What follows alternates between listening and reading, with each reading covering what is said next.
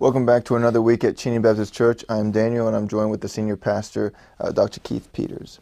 So last week you again followed the, the concept of God's viewing us like sheep almost in that kind of analogy where he, Jesus is that great shepherd who takes care of us and things like that.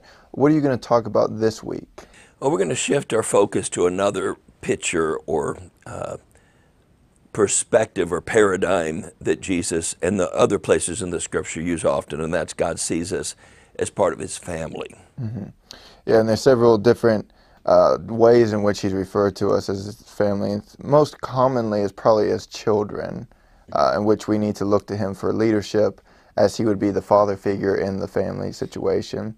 Uh, but what else are you going to talk about in that well, this morning we're going to focus specifically on how you become part of any family and what are the privileges that are associated with being part of a family and certainly particularly God's family. You, becoming part of a family, legally at least, there's only two ways to do it. Either you're born into that family and that speaks of your, your nature, mm-hmm. or you're adopted into the family. Uh, and that speaks of, uh, among other things, your value in that someone chose you. And I think it's interesting, God's Word uses both pictures to help us to understand that when we become a part of His family, well, one, we're not naturally a part of His family. Uh, our nature's wrong. Jesus said, You are of your father, the devil, and the lust of your father you will do. So to become part of God's family, we have to, as Jesus said, Peter, and many other places in Scripture, we must be born again or Titus 3 describes it as being regenerated, reborn, recreated. Uh, and so that makes us part of God's family by virtue of our birth. Uh, but also, the Bible uses language in, uh, in uh, Romans 8 and other places that we've been adopted mm-hmm. into his family. And I think it's interesting that however we get to God's family or any other family, there's an identification. And, and I think this is important in the context of church because so many people have a skewed definition or concept of what the word church means or what the church in God's eyes means. Mm-hmm. Uh, many people think of a church as a building. Others think of it as a group of people that are gathering together. While church is often associated with a building, and certainly a church with no people is not a, by definition, a church, there's a, there's a world of difference between a congregation and a community, for instance. And there's a world of difference between a bunch of uh, individual people who happen to be seated in an auditorium or in a classroom or in a living room for that matter, and people who are, in God's eyes, part of a family. Yeah, absolutely. And you've already talked about a little bit this concept of God adopting us. And if I remember correctly, in maybe it's in Jewish law, if you're adopted, you can't be disowned, right? Is that correct? I know it's part of the Roman culture of Jesus' day. I'm not sure whether the Jews had the same concept, but I know the Roman adoption was irreversible. Mm-hmm. Okay, so that I, I, knew I'd heard it somewhere, but I couldn't remember exactly where. Uh, so yeah, just this idea that in some cases, in some cultures, there is such thing as disowning, but ultimately we know that it's not legitimate, right? Uh, I'll never not be your son, right? You can say I don't like you, get uh, get away from me, uh, but that doesn't change the fact that you you didn't give birth, but your your wife, my mom, gave birth to me, uh, and I am your son. So that doesn't change. And the same thing goes with kind of this sense of eternal security. Once we're part of God's family, whether you consider it as like rebirth, like you were talking about, or adoption, which is same concept, different terminology, but just either way, it's just this idea that we're His now and are we going to please our Father or are we going to displease Him? Because He'll be our Father no matter what. Uh, but what is your relationship going to be like? And depending on what you do, may damage your relationship, but it's not going to terminate it. Um, go ahead. Your mom was reading something to me. I suppose it was a Facebook post last night. Someone had posted about, you know, uh, marriage, and uh, someone had often people often say, "Well, you don't have to go to church or be a part of a church in order to be a Christian. And while that's technically true, uh, you don't have to come home in order to be married. You can be married to someone and legally and technically, but never spend time with them. Mm-hmm. You may still be legally married, but what is the quality of that relationship going to be? Mm-hmm. And so many people just they they have a a worldly perspective of church as a place or even a people that I may occasionally associate with. But a biblical perspective of a church family is much more than a people or place. It's a partnership. It's a relationship or a series of relationships that, like family, sometimes are strained, uh, but like family, the church is an environment where God expects us to mature and to grow up. Yeah, and of course, God's relationship to us is more than just an analogy between a child and a father. It's also between a married couple. He uses that analogy, and uh, a lot of people they look at the Old Testament, for example, and they say, "Why did God have things certain ways?" Yesterday, my wife and I we were uh, in Leviticus. I can't remember the actual chapter. I think it was 19 or something like that. Uh, but we were talking about leprosy, and the children of Israel didn't understand much about germs. They may understand that you know stay away from a leprous person, but they didn't. They weren't medical doctors. But God knew, and He gave them certain procedures.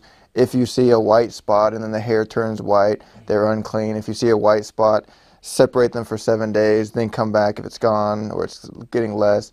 Uh, they're clean. You stuff like that. Uh, and we look at that and we say God has a reason for everything that He's doing, even if at the time they didn't understand. Uh, but, so when God says, don't commit adultery, well, what's the reason for that? Why does God want us to keep our covenants in the family marriage sense? Um, well, the same reason because He wants us to keep our covenant with Him.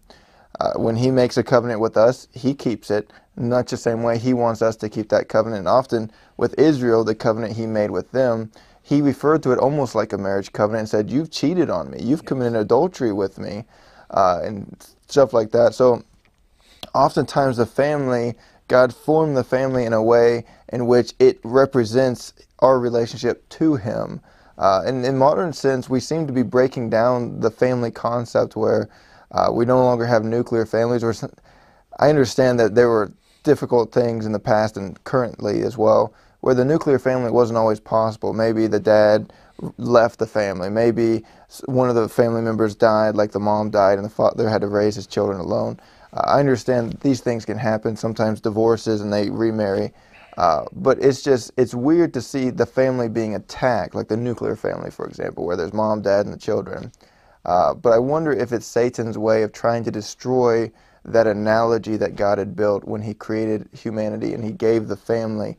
And one of the reasons for that was to, one, function properly, and two, to represent his relationship with us as well. Well, I absolutely believe that that's one of Satan's many methods. Paul talked about that in writing to the church of Corinth, the church family of Corinth, that there was an issue which required a family intervention.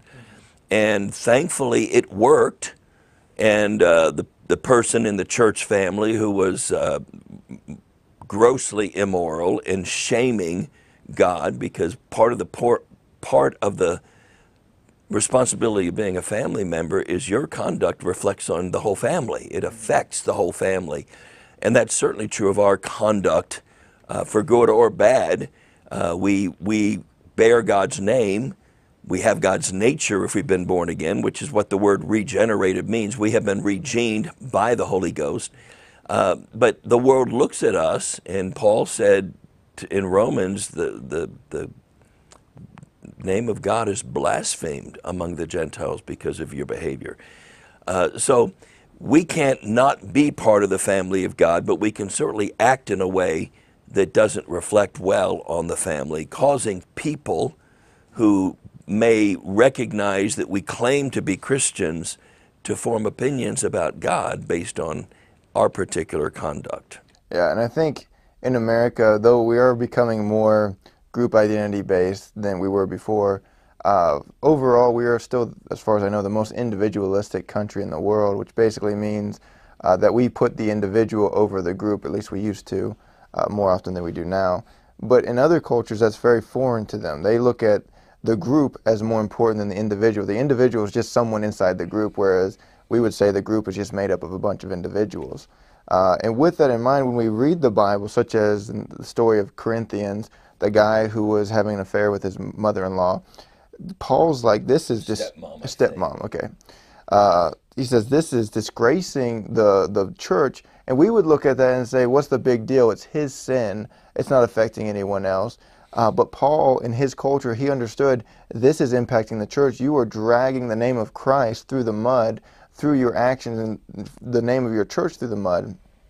So, for in our culture, you, as my father, you didn't decide what college I went to. I decided it. You didn't decide what career I went to.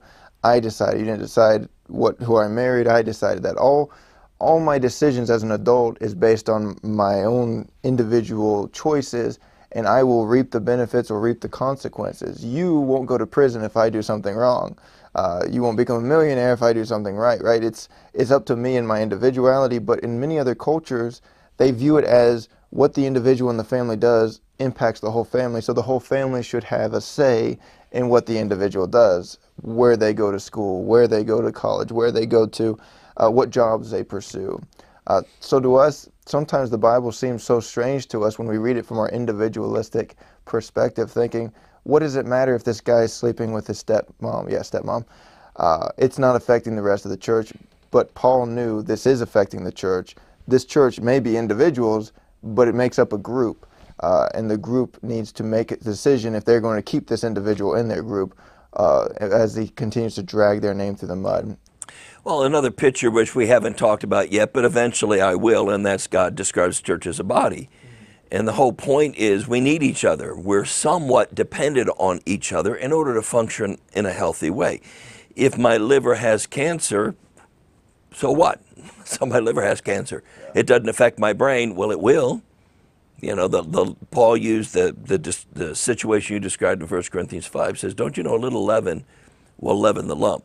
if you have a disease or a cancer or a problem, uh, it's going to affect, eventually permeate the rest of the body, or in the context of the bread, the yeast will eventually affect the rest of the dough. Uh, so, we're going to be focusing this morning particularly on how to become part of God's family and then the privileges.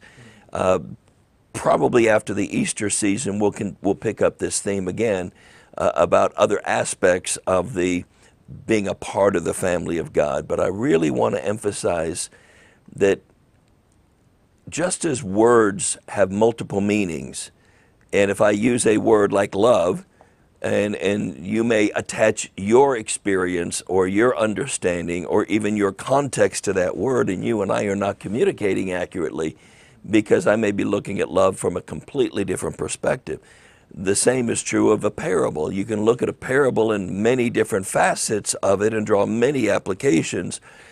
But I think God gives us many pictures and many words to describe how He sees us. And my hope and my prayer is that by seeing us through God's eyes, it's not just how He sees us, um, but how He intends for us to be. We are, when we're born again, a part of His family, but are we a functioning part of His family? Are we a healthy part of His family? Are we a accepted part of His family? Even the very name church uh, in, in the Greek language, a, a ecclesia, a called out assembly. Well, who does the calling and why are we called out? It's not just ring the bell, ring the church bell, it's time to gather to go to church. That may be a call for church, but God describes the church in so many different ways in order to help us to understand this is what I made you to be. This is what I've called you to be. And by focusing on what God has called us to be, passages such as 2 Corinthians 3 says we can become transformed. We can become more like God designed us to be. Yeah, and I know you already talked about a little bit that during the sermon you're going to mention about this rebirth concept where, you know, in John chapter 3, uh, Jesus is talking to Nicodemus and he says, what uh, Jesus tells him, you have to be reborn to enter into the kingdom of heaven. And of course, Nicodemus struggles with the concept and Jesus expands on that. But what about in the Old Testament? Uh, are you going to mention how in the Old Testament, how did Abraham pop up in paradise, right? Uh, Abraham didn't know Jesus. Abraham couldn't have uh, accepted salvation by saying, Yeah, I saw Jesus died on the cross for my sins. I accept that. So, are you going to talk about that at all? Uh, well, other than right now, I'm not sure. Salvation is always a response of faith to what God has revealed. Even Jesus said, Abraham saw my day and rejoiced to see it. And that may have been a reference to what happened in Genesis 19 when Abraham offered Isaac and God substituted Isaac for, for the ram, the, the, the sheep caught in the thicket. We don't know exactly what Jesus was referring to, but what we do know from the New Testament is Abraham was justified by faith. He believed what God had revealed to him, and it was imputed to him for righteousness. We look, he looked forward to the sacrifice. He looked forward to the, to the uh, God's atonement for sin. We look back at, with the benefit of history and recognizing who Jesus was and that he was that Lamb of God that died in our place. Our faith is on what has been revealed to us historically and ultimately through God's Word. His faith was what God had, obedience to what God had revealed to him. Yeah. We're always saved. By grace, we're saved through faith. And in the Old Testament, of course, it was belief that God would forgive sin if I did what God asked me to do in the sacrificial system of the Old Testament, for instance. Yeah, and I think uh, that that's a big question that people have is if you were to ask the average Christian, uh, how did the people in the Old Testament go to heaven? They probably have no idea. They'd say, well, we're taught that they have to believe in Jesus, but since Jesus wasn't around, then I guess it's just because they were Jewish, right? They were born Jewish. That must be an automatic step into heaven. Uh, and I think there's that misconception there. The Jewish people certainly had an advantage that other people did not, and that's certainly by the grace of God that they had that advantage. Uh, the advantage was not that they were born that way, but rather they were given the law, such as the sacrifices. And year after year, they sacrificed this lamb, having no idea what it was pointing to, but they believed God. They believed in the promises of God, and those sacrifices eventually pointed to Jesus and what he would do.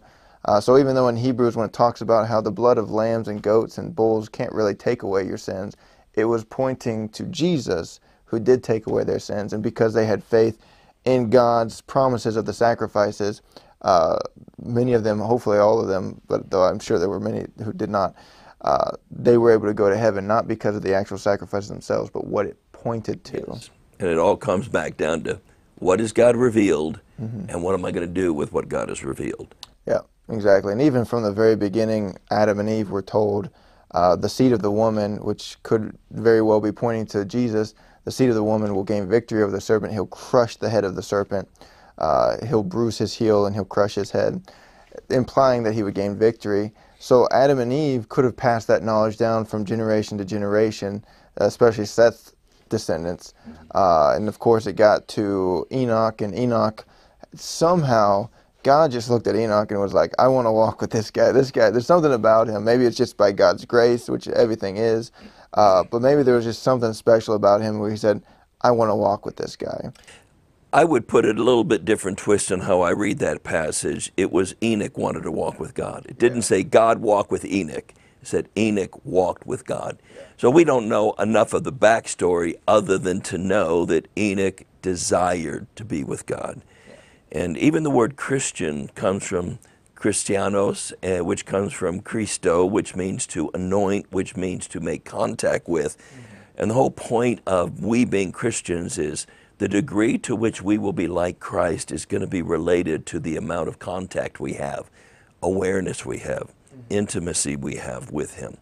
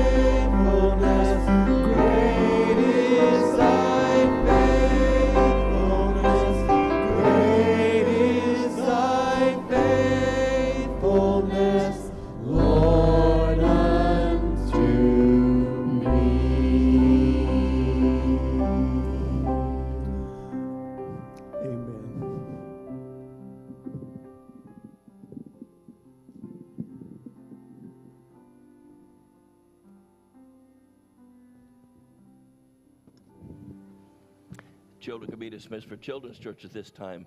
Join me in the book of Ephesians in the New Testament, chapter 2, please. You know, you sometimes hear me talk about the uh, reticular activating system, that portion of our brain that's, I guess, known as the filter of the brain. We see, we hear, we smell so many different things, we can't focus on all of them, so our reticular activating system kind of filters out what, what we don't think is important it also has the ability to help us see or recognize what we're thinking about. And I noticed as we were singing those songs, that last one written well over 150 years ago, that so many of the songs that we sing are filled with different pictures. We talked about the, the, we sang about the lion that roars, we sang about the lamb, which is very consistent with the series I'm doing because there are so many ways in which God seeks to communicate to us, to help us to see, to understand what He sees. Pictures, like parables, have many different points of view. I don't have the PowerPoint in the back, by the way. A poem, even, even a word or a phrase, can have multiple definitions. Love, for instance, can mean many, many different things. Hate can mean many, many different things, many of which are, are, are changed or helped defined by our own experiences. This is certainly true of the word father. I don't know all of your story. Some of you know my story. My father was an alcoholic and shot my mom. My experience with my earthly father was not a positive one. So even as a young child at vacation Bible school or backyard Bible clubs, when people would talk about God the Father, it, had, it didn't have the right, it didn't have a good connotation with me.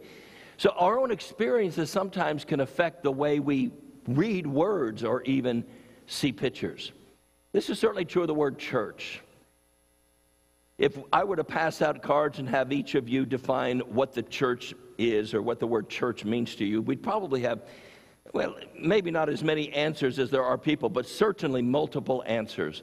Most define today when they hear the word church, they think of a building or maybe a group of people that are very loosely associated with each other, kind of like a club, like the Sam's Club.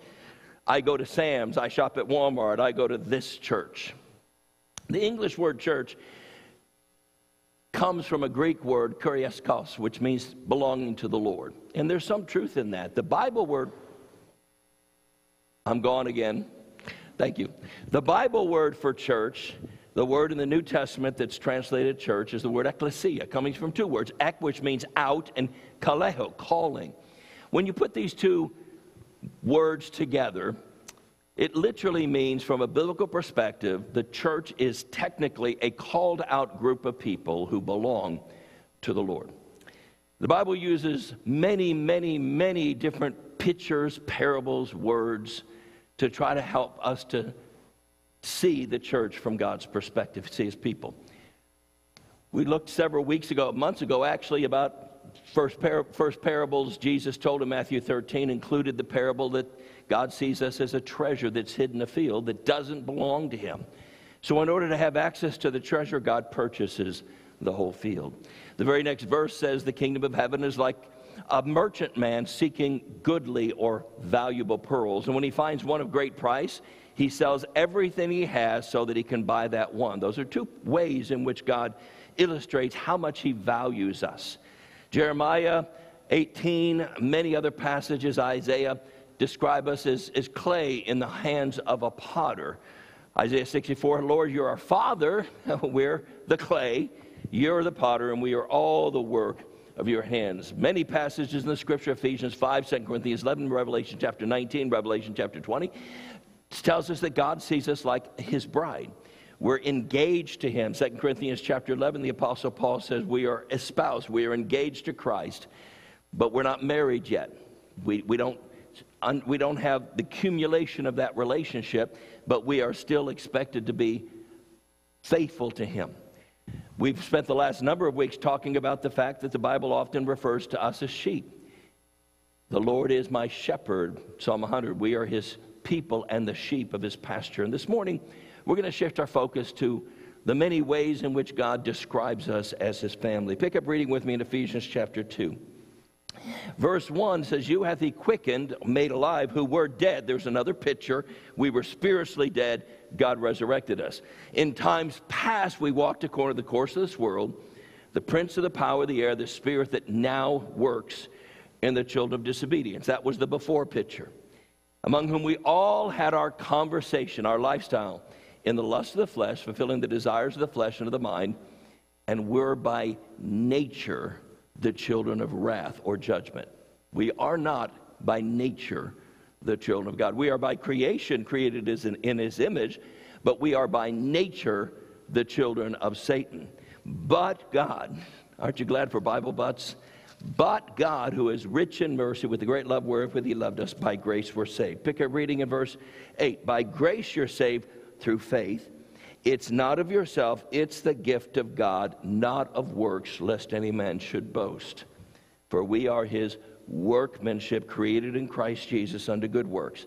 Wherefore, remember, verse 11, that you in times past were Gentiles in the flesh. You were called uncircumcision by the Jews, basically. At that time, verse 12, you were without Christ. You were aliens from the commonwealth of Israel. You were strangers from the covenant of promise. You have no hope you were without God in, this, in the world. But now in Christ Jesus, you who sometimes were far off are made near by the blood of Christ, for he is our peace. Skip down to verse 16, verse 14 and 15 talk about the work of, on, on the cross, that he might reconcile unto God in one body by the cross, having slain the enmity thereby, and came and preached peace to you Verse 18 Through him we both have access by one Spirit of the Father. Now, therefore, you are no more strangers and foreigners, but fellow citizens with the saints and of the household of God.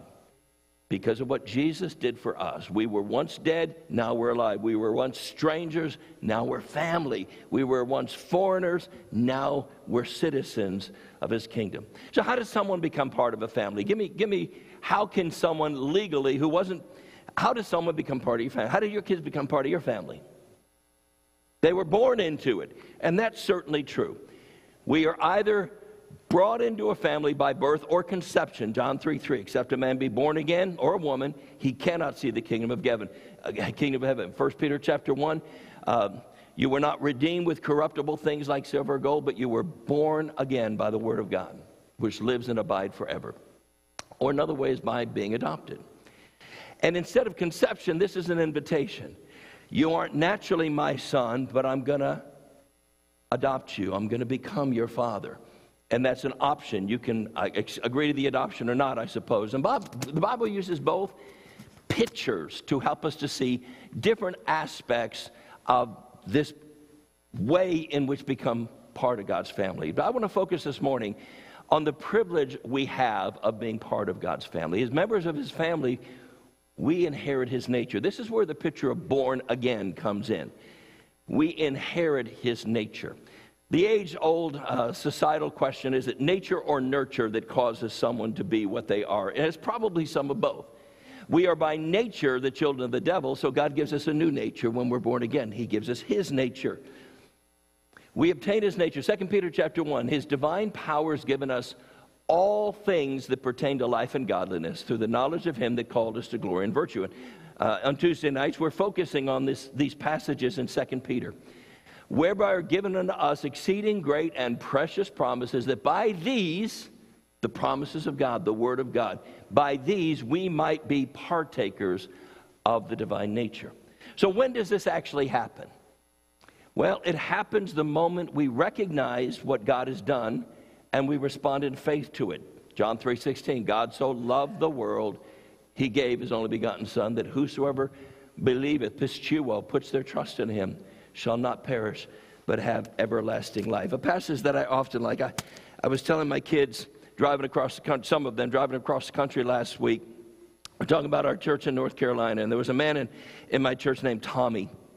And I would so often refer to this picture that Tommy went out and bought the biggest picture he can find. You've all seen this picture of Jesus in the garden knocking on a door and there's no handle on that door. And the, the painter who painted that originally 150 years ago used that picture, sometimes it's called Jesus, the light of the world, or Jesus in the garden, to illustrate that there is no, God will not force his way into our life. There's no handle on that door illustrating it has to be opened from the inside.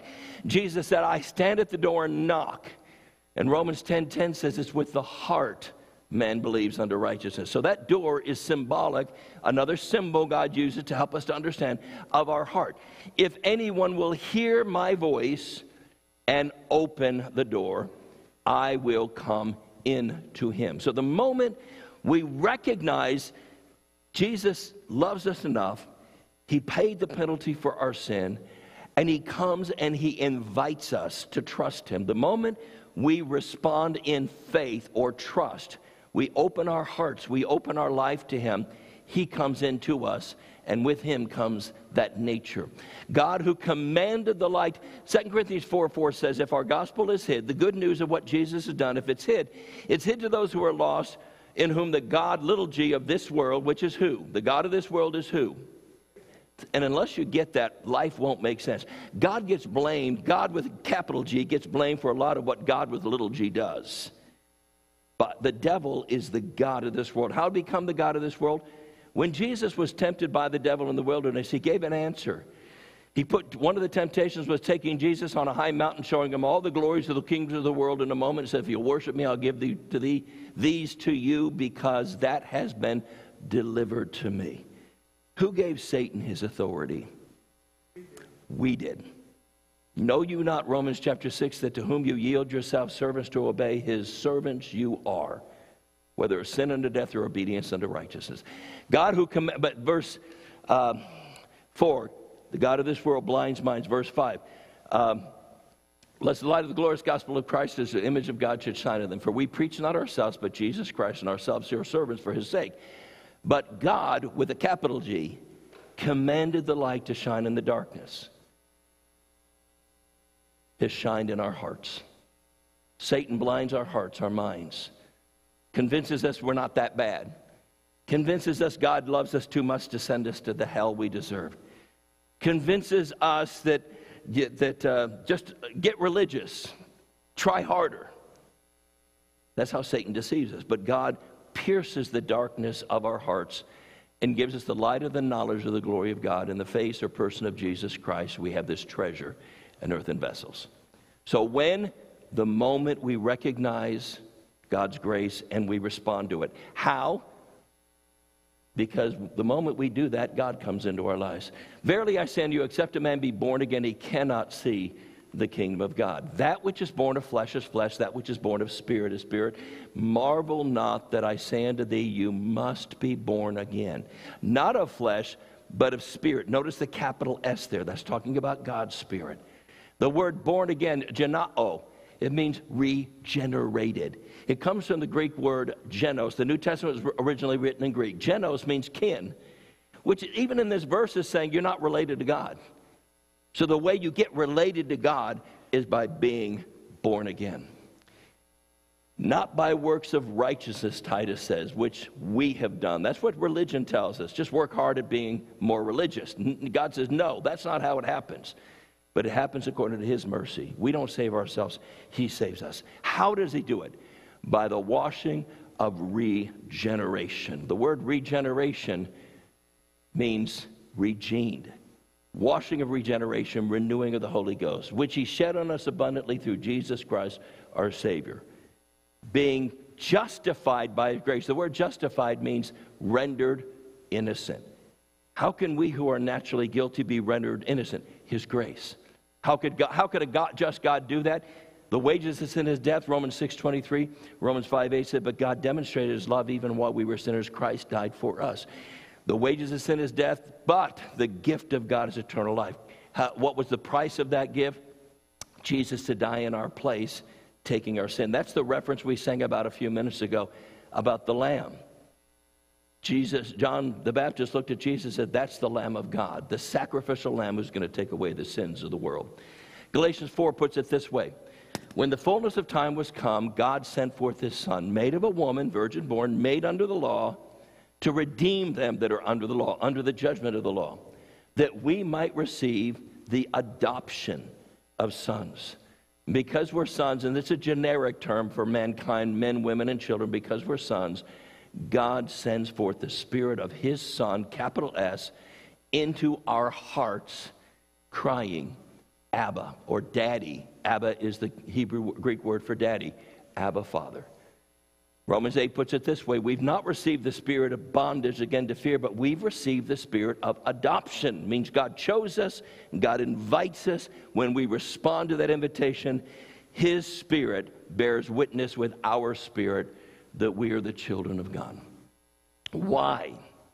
Why do we need God's spirit? Well, because in one sense we're adopted, we don't have God's nature. We don't look like God. We don't act like God.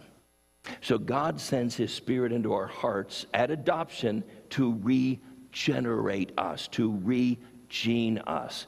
Be not conformed to this world, the Bible says, but be transformed. Metamorpho is the word in the original language of the Bible. We know what morphosis means. Metamorpho comes from morphosis. God gives us the, the spiritual genes so that we can no longer be a caterpillar, but we can be a butterfly. That's what metamorphosis is. It take we don't look like what we're gonna be. First John chapter three says, uh, "Now little children abide in Him, that when He may appear, we may have confidence, not be ashamed at His coming." That's verse twenty-eight. Verse three says, "What manner of love?" Chapter three. What manner of love the Father hath bestowed upon us that we should be called the children of God. Beloved, now are we the children of God, but it does not yet appear what we shall be. The morphosis hadn't been completed yet.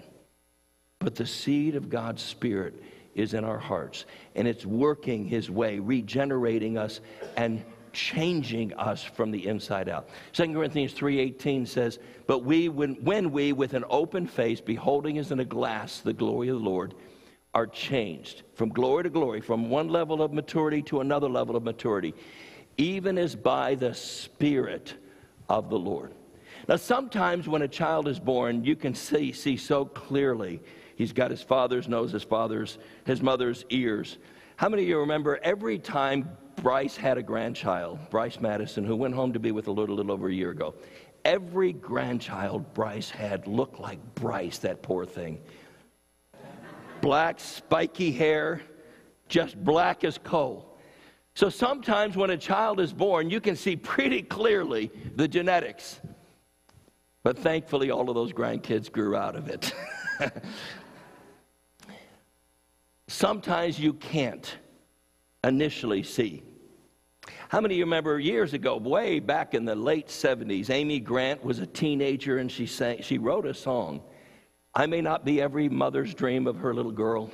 My face may not grace the minds of everyone in the world, but that's okay as long as I can have one wish I pray.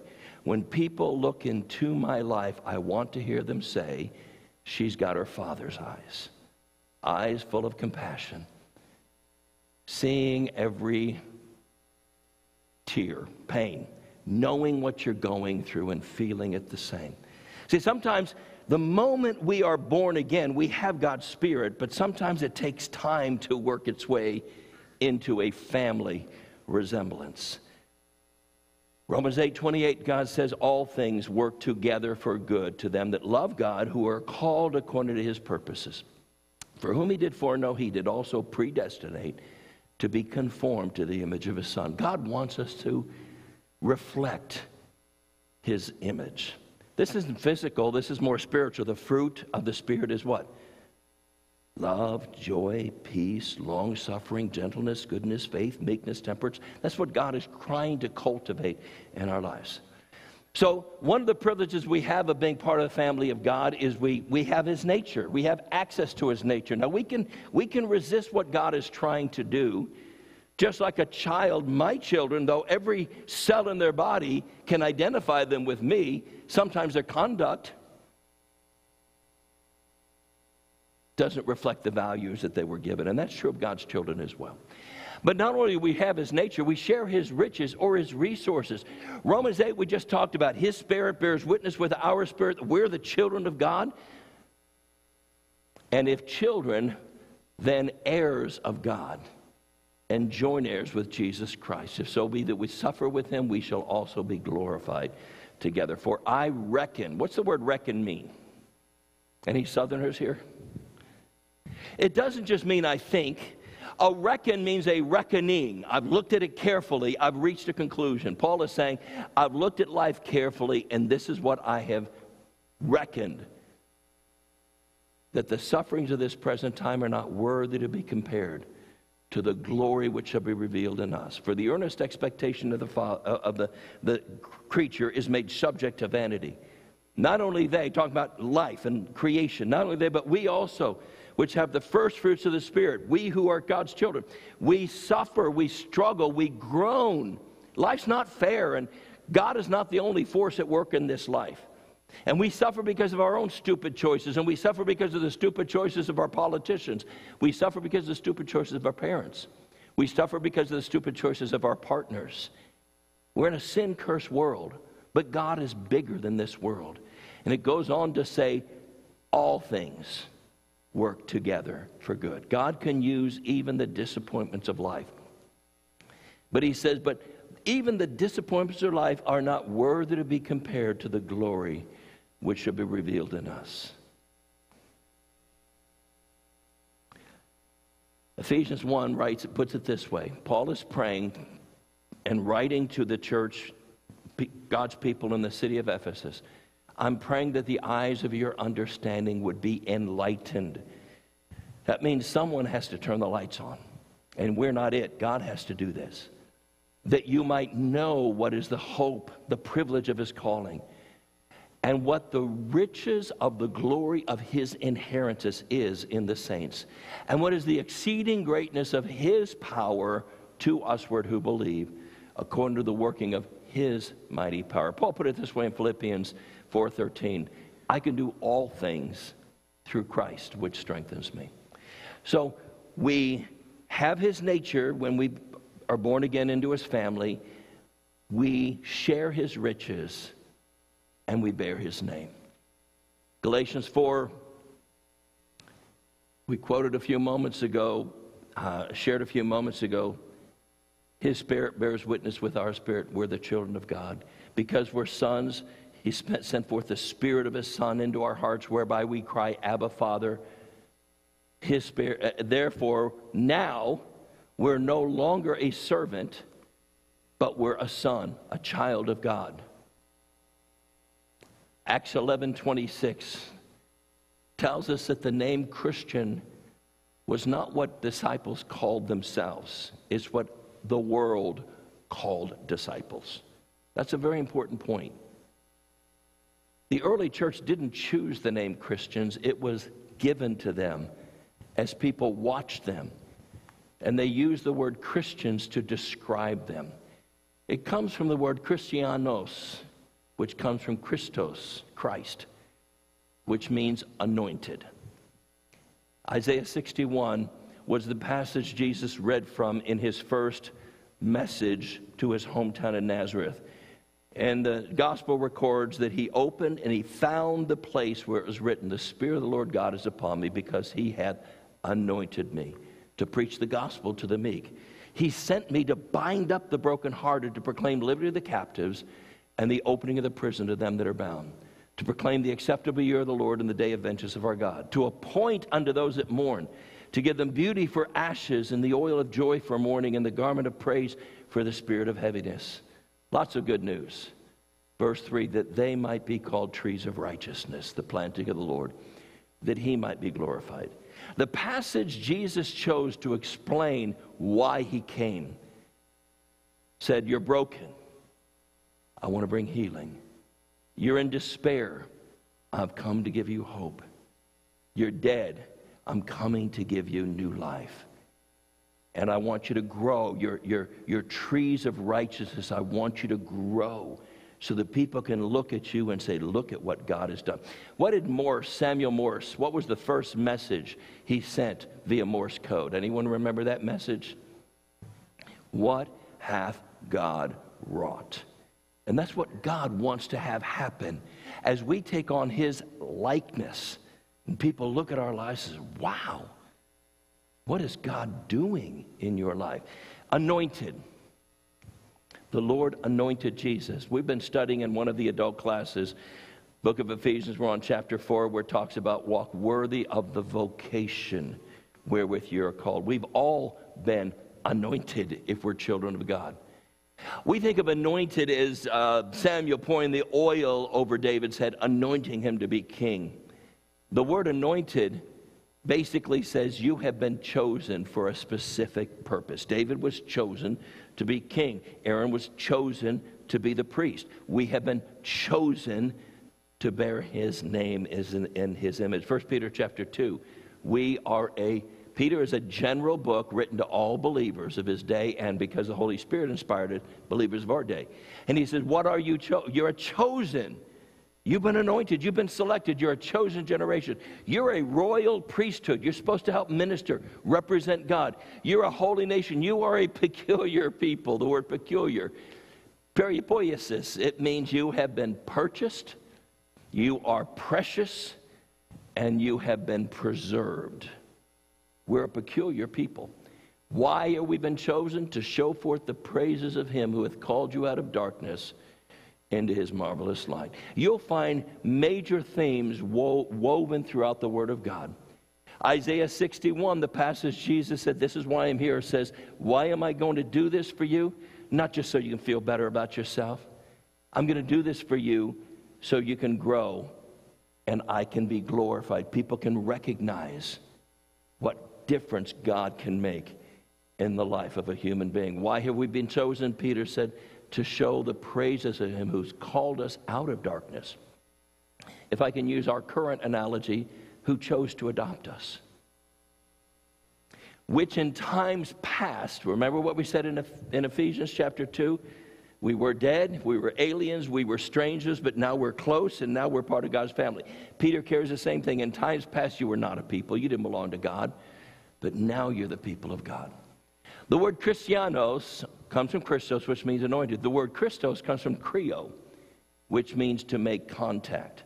When anyone was anointed in the Bible, usually with oil, the oil would be poured or applied to him. There would be contact.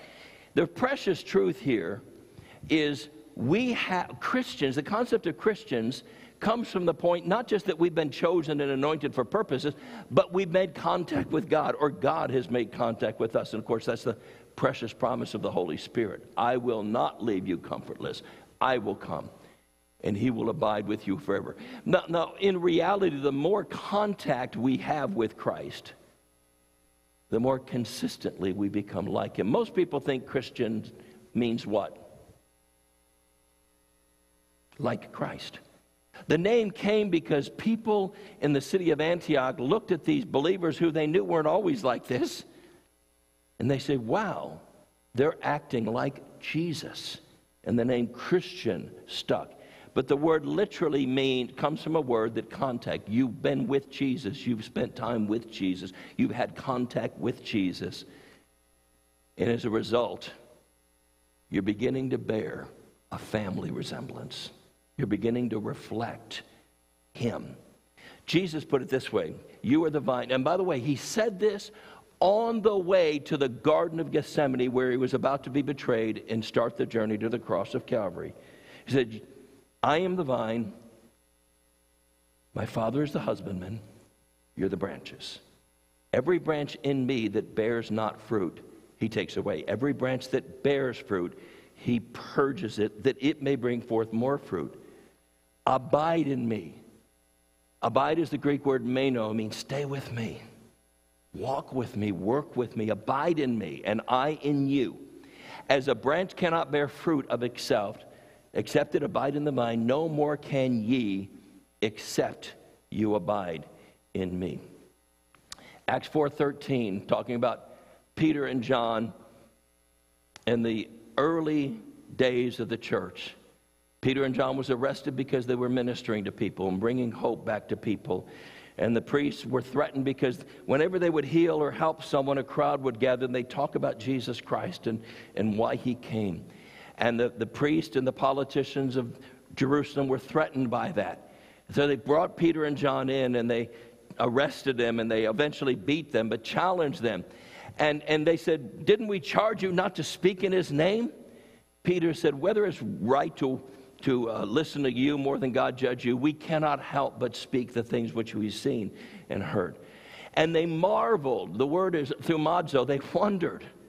They took knowledge of them that they had been with Jesus. Here it is, these poor, and the point was, these were not educated people, these were fishermen from Galilee.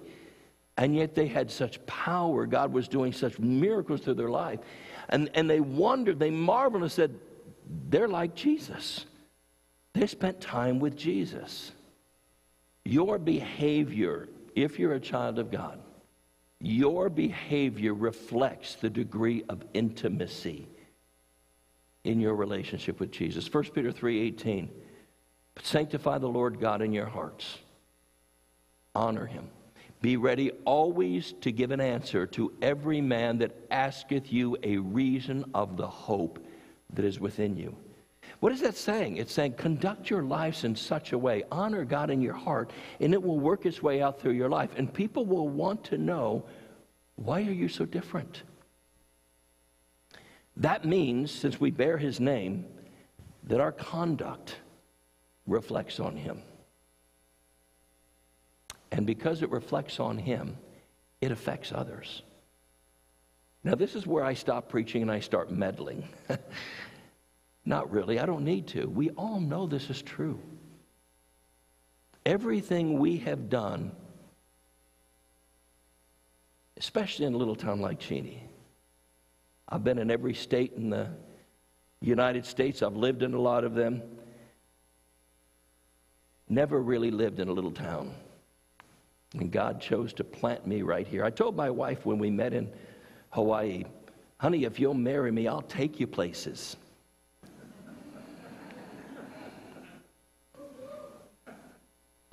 But we all know, especially those of us that come from Garden Plain or Mount Hope or Cheney, Nothing's private. Somebody really screws up in a little town, everybody knows about it. Well, the reality is that's true. The more, more influential or the more known you are, the more people know when you mess up, right? We understand that, especially in little towns, what we do or what our family does causes people to form opinions, right?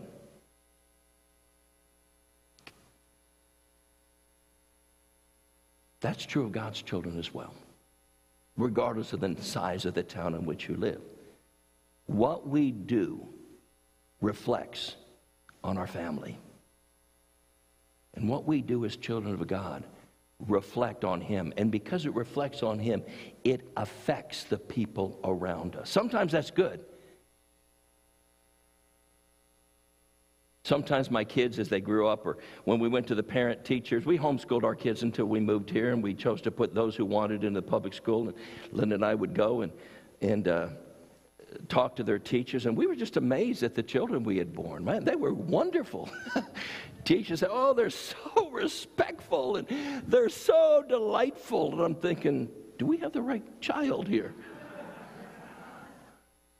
Sometimes my kids would go and do work for some of you or other people that, oh, your kids are such hard workers. And I'm thinking, what I'm trying to say is sometimes,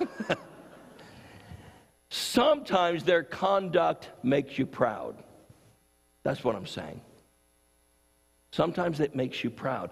Jesus said, Let your light so shine before men. Why? That they may see your good works and glorify your Father, which is in heaven. There have been times I've been so proud of my kids that I just could burst. Can you associate with that? Sometimes the effect is not so positive. Sometimes it's negative. Paul wrote to the church of Rome and said, The name of God is blasphemed among the Gentiles because of you. What does that mean? It means your conduct is causing people to curse God. I had a little, I show videos just about every Sunday. Remember that video I showed? It was a live stream of a Google search engine. Why are Christians so? And he put an A, angry, arrogant. B, uh, brutal. C, critical. You, it, now, I, I, know we can go into the, why Google search engines produces what it does, but the reality is people have formed opinions about God because of the conduct of his children. And sometimes it's not positive. Can I see your hands? How many have ever been negatively affected or felt negative because of the choices or conduct of someone who claimed to be a follower of Jesus Christ? Can I see your hands? My last church, we, we built that, we, we started that church. We called it Grace. And we decided we wanted to be a place where people who have been hurt in church can come and find healing. So, as members of God's family, the privileges we have of being a part of God's family, we receive His nature, we share His resources, we bear His reputation. With great privilege comes great responsibility. Ever see a Spider Man movie? Some of you know what I'm talking about. The reality is, it's not from Hollywood, it's from God's Word. With great privilege comes great responsibility. We open by describing a church. An audience is a general group of unrelated people drawn together by a short lived attraction, event, or interest. There's lots of audiences. We're an audience at a movie, we're an audience at a concert, we're an audience at a rally. You can be an audience and know nobody else around you. You can be an audience, you're part of a group, you're part of an assembly, but you're not connected to anybody else except by a mutual interest in whatever's going on. That's an audience. A church is a specific group of people who belong to the Lord and have been called together by Him to accomplish his purposes. Which most accurately describes us?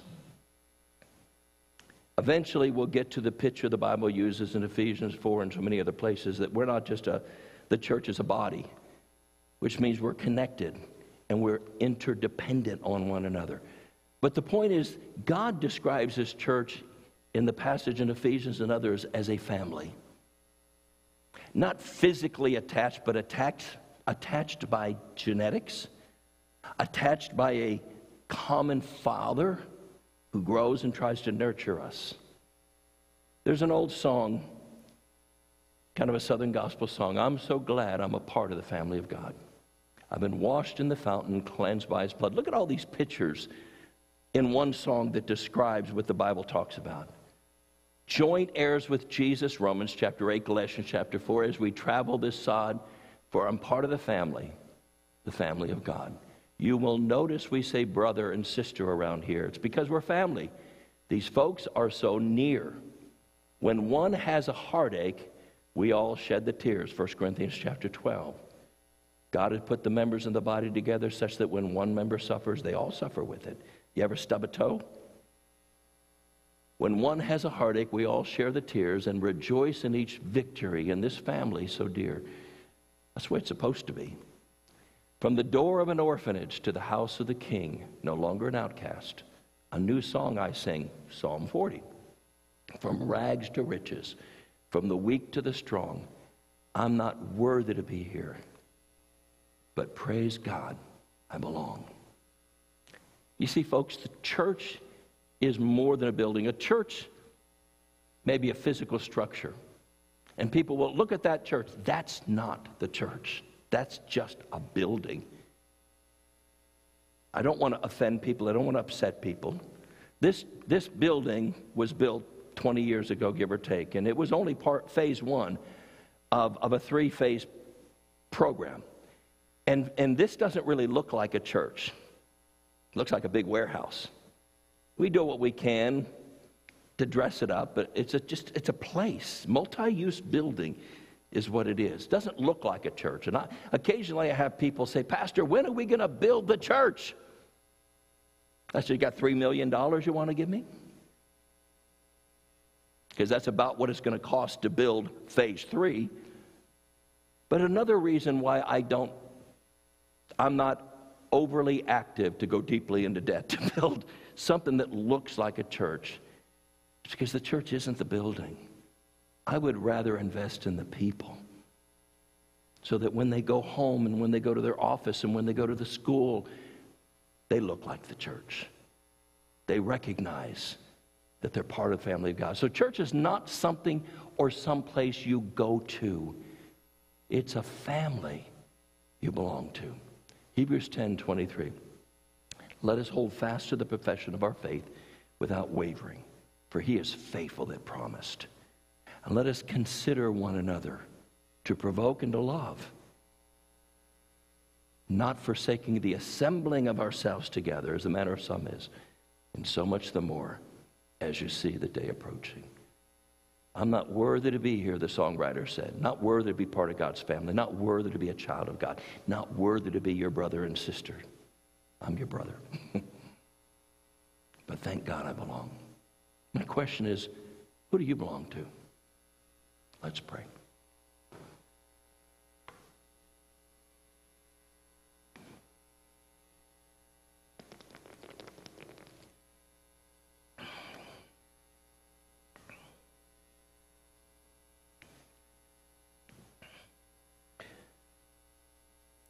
Father, I thank you for the opportunity to be a part of this particular church family. I know the church is bigger than Cheney Baptist, and I know that there are pockets of people all over the world that are meeting together that you look at them and say, That's my church.